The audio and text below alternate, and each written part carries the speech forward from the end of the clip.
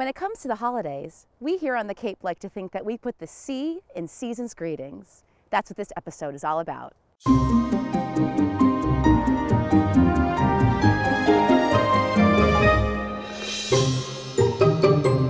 Hello, everyone. It's Jenny Sparrow with WeNeedAVacation.com. Welcome to Escape TV, where every episode we bring you back to the Cape and Islands. As I mentioned earlier, we're talking about the holidays. And what better way to get things started than by lighting it up with our own Becky Fisher? Lights, lights, and plenty of things to do. That might just be the best way to describe the holidays on the Cape and Islands. From old fashioned handmade candy canes to the annual lighting of the Pilgrim Monument in Provincetown, the Cape and the Islands might just be the perfect spot for families to celebrate. Personally, one of my favorite days leading up to Christmas is the tree lighting ceremony at Drummer Boy Park. The lighting of the tree and nearby windmill kicks off the Brewster for the Holidays weekend. The event includes tasty treats, goodie bags for kids, a toy drive run by the PTO, luminaries, holiday music, and a visit from Santa, who arrives on a fire truck. Another treasured holiday family tradition is Gardens Aglow at the Heritage Museum and Gardens. The grounds are transformed with more than 12 miles of holiday lights. When Jenny ventured there a few weeks ago, it was the night of the super moon. That allowed for an even more spectacular backdrop. There's no shortage of events on the islands either. Just ask one of our homeowners on the vineyard.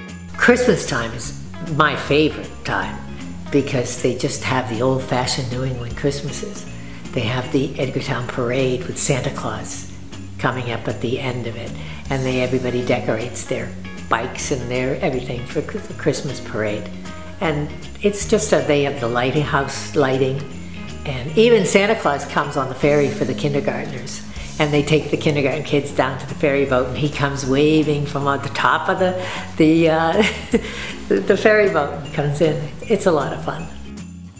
Between the events, the scenery, and the joy in the air, the Cape and Islands are nothing short of magical when it comes to celebrating the holidays. Great stuff as always, Becky. Now you can come down to any event for just the day, but why not stick around for a little longer? Tyler can tell you how you can do just that. Let's face it, there are some gifts that just don't fit under the tree. But that doesn't make it any less special or desirable. In fact, you could easily make the argument that a vacation might just be the best gift ever. Nothing happened there. Well, maybe not as cool as that, but you get the point. We've always noticed on our site that traffic from vacationers skyrockets right around the new year. But while you could wait a week with the rest of the crowds, your wallet might actually like it better if you looked now. That's because some homeowners on our site are actually offering up deals for booking early.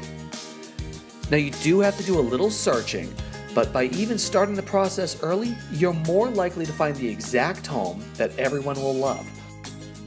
And who knows, you might even get a few moments like this. Once at Christmas time, and again when you arrive for your vacation.